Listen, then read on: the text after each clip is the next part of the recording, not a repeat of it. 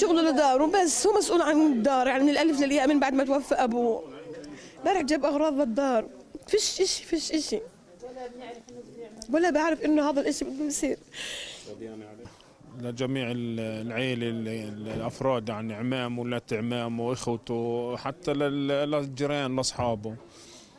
وتقريبا من الساعة عشرة ونص الصبح لغاية هسه يعني لحد هذه اللحظة كانوا موجودين.